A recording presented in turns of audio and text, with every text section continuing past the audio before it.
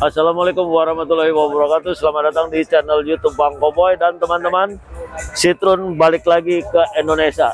Citroen atau Citroen? Nah balik lagi Indonesia dan udah resmi jualan. Dan mobil pertamanya yang dijual di Indonesia adalah New Citroen C3 Ini yang dua warna. Di sana juga dua warna. Ini juga dua warna tutun. Nah mobil ini Harganya dijual mulai 225 juta untuk yang satu warna atau single tone. Sementara untuk model-model yang two tone ini yang dua warna itu dijual seharga 231 juta. Mesinnya 1200 cc, 3 silinder. Ini berarti ada sekelas sama Agia, sama Ayla, sama Race, sama Rocky. Nah, Anda tinggal pilih yang mana? Pilih merek-merek Jepang itu atau pilih merek Eropa Citroen dari Prancis. Tapi unit ini diimpor dari India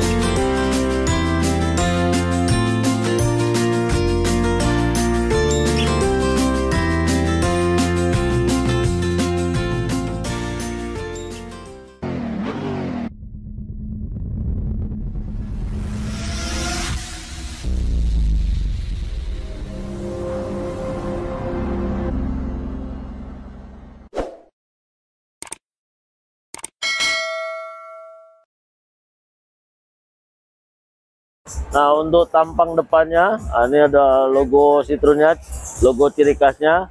Ini sudah ada DRL lampunya masih halogen ada fog lamp juga halogen. Oke kita lihat mesinnya. Tuh.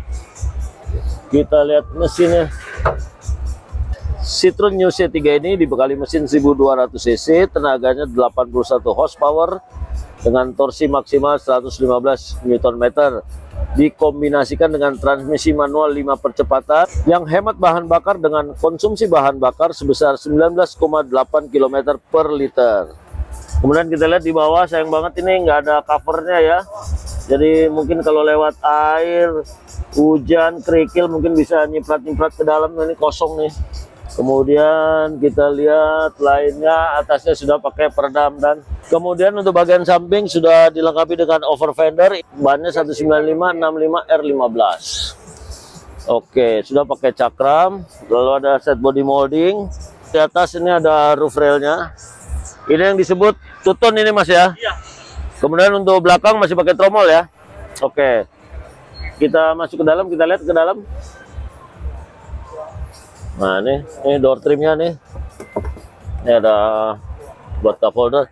Dan untuk penyetelan spion masih pakai tangan mas bro ya. Tuh ya. Oh, masih manual. Lalu kita lihat dashboardnya, joknya dari bahan fabric. Ini ada jahitan warna-warna orange gini. Ini reclining. Ini naik turun. Kemudian ini ah, maju mundur. Terus kita masuk dalam. Lalu kita lihat lihat udah tilt steering belum ya? Oh ternyata sudah, tapi belum teleskopik, iyalah. Asik juga ini, mobil kecil, katanya irit, 19,8 km per liter, jalan-jalan bersama keluarga, tapi manual. Sayangnya itu doang, nggak ada metiknya. Memang belum dijual metiknya, jadi mereka jual manualnya dulu. Manual dengan harga 225 sampai 231 juta. Kira-kira worth it nggak tuh? Kolom setir sebelah kanan ini untuk sumber head unit angkat tutup telepon dan seterusnya. Tombol kiri kosong ini head unit 10 inci cuman nggak ada kuncinya. Ini kisi-kisi AC nya di sini pengantaran untuk AC nya masih kenop ya. 1 2 3 dan seterusnya. Arah semburan. Kemudian ini ada hazard ada slot USB ada power outlet 12 volt ada kotak penyimpanan kotak penyimpanan cup holder dan ini dibungkus kulit atau sintetik nih. Jadi ini mobil tidak ada metiknya. Semuanya manual. Wah capek juga ya kalau manual ya. Harga 200 jutaan. Mobil baru manual. Anda mau beli yang ini atau beli mobil bekas 200 jutaan tapi Matic. Aha, itu. Kemudian kita lihat handbrake-nya. Nah, kemudian di belakang handbrake ini adalah untuk buka tutup jendela penumpang belakang. Kalau di depan pakai ini ada di sini dan ini untuk yang penumpang belakang. Kemudian kita lihat ini laci dashboardnya. Nah, untuk yang tutun ini kelihatan lebih keren mas bro ya jadi nggak hitam-hitam semuanya ada warna-warna rada emas lah ke orange-orange kemudian ada Twitter di sini spion nah ini lampunya. Oke nih sun visor nggak ada cerminnya. Ada di kiri. Kalau model joknya sih keren ya sporty gitu ya. Coba kita lihat belakangnya. Nah sekarang saya sudah duduk di belakang. Nah, untuk penumpang belakang ini dapat dua slot USB. Nah, seperti yang saya bilang tadi, untuk untuk buka tutup jendela penumpang belakang ini enggak ada di door trim, adanya di sini. Nih, jadi jangan ini pasti awal-awal pasti ntar orang-orang kagok buka jendela kok nggak ada ya, adanya di sebelah sini. Dan ini joknya ada set pocket kiri kanan. Untuk jok belakang headrestnya cuma dua, kiri dan kanan, tengah nggak ada kemudian ada hand gripnya ini tinggi saya segini dan untuk melipat jok belakang nah ini coba tarik di sana. Nah ini pelipatannya begini. Jadi kalau anda mau bawa barang banyak pelipatannya sekali. Ini persis kayak pelipatannya Datsun ya. Datsun yang udah tewas di Indonesia.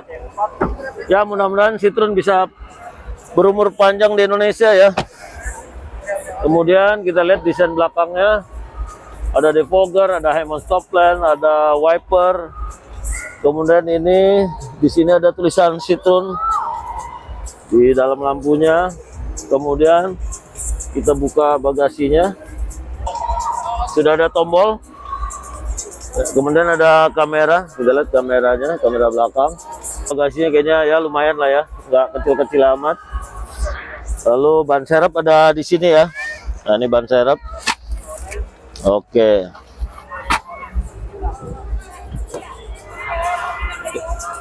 Nah, ada yang unik di mobil ini. Kalau kita mau tutup pintu bagasi, ada tarikannya sekarang, ada talinya. Kalau mobil lain kan nggak ada. Biasanya kan kita begini nih. Nah, sekarang udah dikasih tali nih. Jadi kita nutupnya begini, Bro. Nih, nutupnya begini. Set. Awas tangan kejepit ya pas mau deket langsung lepas tangannya nah gitu. Nah kemudian ini mobil kedua ini masih tuton ya warnanya tuton. Kalau tadi kan putih atasnya ada oranye bawahnya hitam. Kalau ini bodinya oranye atasnya kayaknya abu-abu. Nah ini bedanya. Untuk desain dashboardnya dibedain. Kalau tadi kan desain dashboardnya warnanya orange gitu ya kayak emas atau apa. Ini polos warna abu-abu jadi Anda tinggal milih aja desain interiornya bagaimana, bodi luarnya bagaimana, dan masih ada satu mobil lagi. Nah, akhirnya bisa juga dapat pinjaman kunci ya. Oke. Nah, ini MID-nya nih. Tuh, warnanya merah, kuning, hijau. Jadi ini ada trip A, trip B. Ini ada untuk indikator bensin. Ini kilometer per jam. Kalau kita pencet lagi ini average-nya.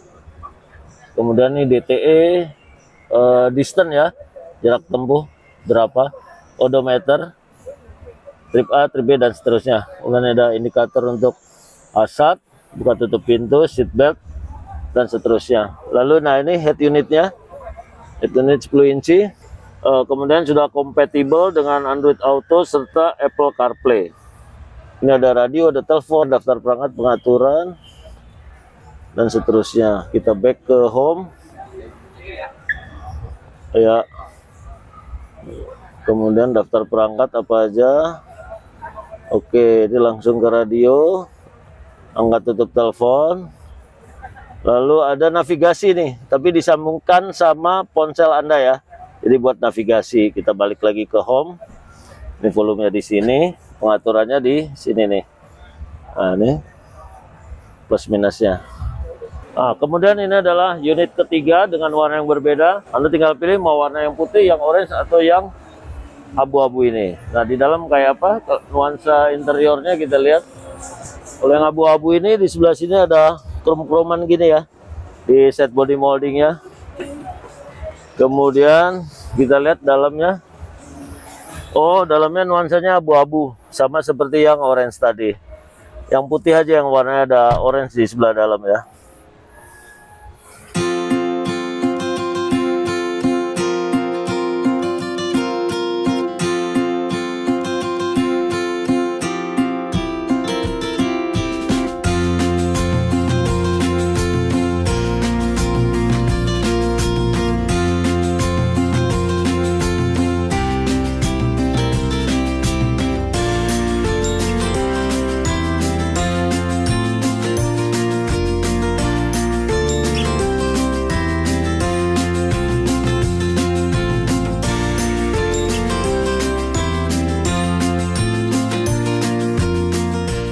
Baik teman-teman itu tadi review singkat saya mengenai Citroen C3 jadi sekali lagi merek Citroen sudah kembali lagi ke Indonesia udah resmi jualan.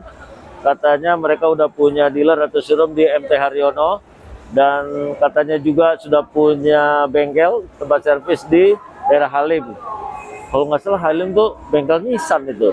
Nah, nanti kita cek ke sana Oke teman-teman, meskipun reviewnya secara singkat, mudah-mudahan ada manfaatnya buat teman-teman semua. Jika Anda suka dengan video ini, silahkan like, comment, share, dan jangan lupa subscribe. Tetap pencet tanda loncengnya, follow Instagram Bang underscore Koboy, follow TikTok Bang Koboy, dan baca juga selengkapnya di www.bangkoboy.com. Baik teman-teman, sekali lagi terima kasih sudah menonton. Sampai jumpa di video berikutnya. Wassalamualaikum warahmatullahi wabarakatuh.